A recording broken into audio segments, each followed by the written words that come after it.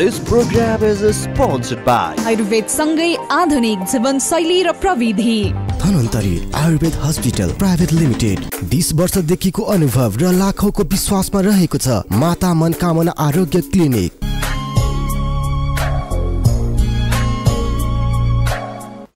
एक्काइस वर्षीय मित्रको उहाँले नाम उल्लेखित गर्नुभएको छैन लेख्नुहुन्छ।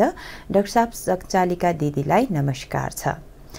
म एक्काइस वर्षको अविवाहित युवक हुँ। मेरो समस्या के हो भने जब मेरो लिङ्गको सुपारी दानाको तल्लोपट्टि घेरामा चामलको कनिका जस्तो फोकाहरू गोलाकारको रूपमा देखिएका छन् यो चिलाउँदा पनि चिलाउँदैन।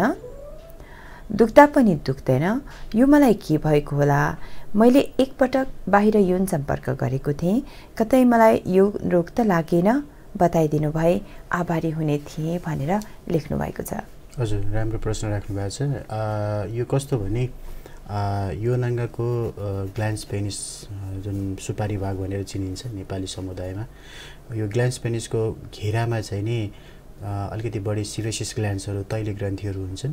त्यो तैली ग्रन्थीहरूमा चाहिँ नि कहिलेकाहीँ भाइरल इन्फेक्सन पनि हुनसक्छ। भाइरल इन्फेक्सन भयो भने त्यो अलिकति फुलिदिन्छन्।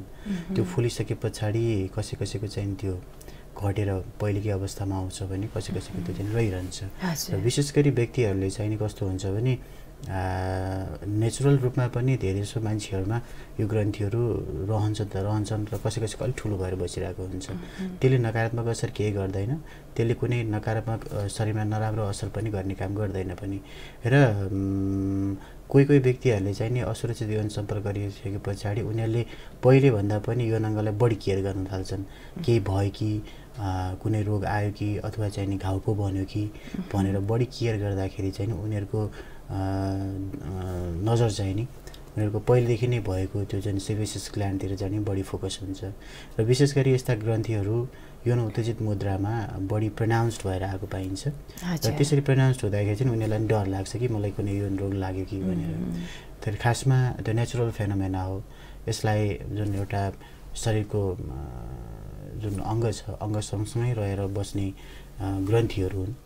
तर कहिलेकाहीँ चाहिँ नि त्यसमा भाइरल इन्फेक्सन भयो भने चाहिँ नि त्यसलाई चाहिँ हामीले प्योरली पेपल नोड्युल भनेर भन्दछौँ पिपिएन भनेर भनिन्छ। त्यो पिपिएन भयो भने पनि त्यसले खासै नराम्रो असर चाहिँ नि गर्दैन। यद्यपि त्यो भाइरल इन्फेक्सन हो तर पनि त्यसले नराम्रो असर चाहिँ नि गर्दैन। त्यसैले जो मित्रले यो कार्यक्रममा यो इमेल पठाउनु भएको छ यदि उहाँले हेरिरहनु भएको छ भने तपाईँ निश्चिन्त हुनुहोस् डराउनु पर्दैन। त्यो वास्तवमा कुनै ठुलो रोगको लक्षण नभइकन एउटा सामान्य अवस्था हो। त्यसले तपाईँलाई कुनै अप्ठ्यारोमा पार्दैन।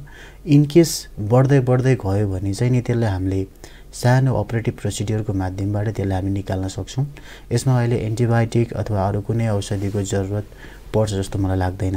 र अर्को कुरा अब जलनको महसुस भइरहेको छ अथवा इचिङ भइरहेको छ भने चाहिँ त्यस्तो अवस्थामा लाक्षणिक उपचारहरू चाहिँ गर्नुपर्ने हुनसक्छ।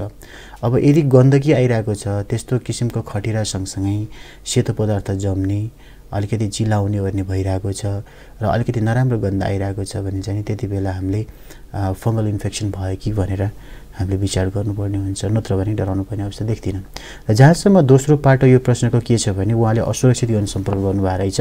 त्यस कारणले गर्दाखेरि जब व्यक्तिले मैले अघि पनि भनिहालेँ कि बाहिर अरूसँग सम्पर्क गर्ने बित्तिकै उनीहरूले चाहिँ नि आफ्नो यौनङ्गमा के खराबी छ कि भनेर औल्याउन कोसिस गर्छन्। अब यो एउटा नेचुरलै भनौँ न एउटा सामान्य मान्छेको निय नियत अथवा चाहिँ भनौँ न सोचाइ नै त्यस्तो हुन्छ स्वभावै त्यस्तो हुन्छ कि मलाई केही भयो कि भनेर।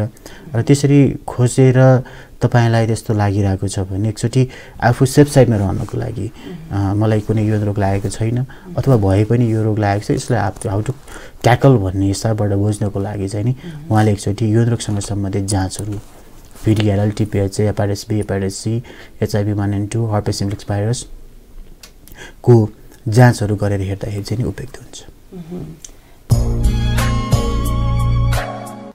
अब यौनका कुरा विभिन्न सोसल मिडियाहरूमा पनि हेर्न अनि पढ्न सक्नुहुनेछ।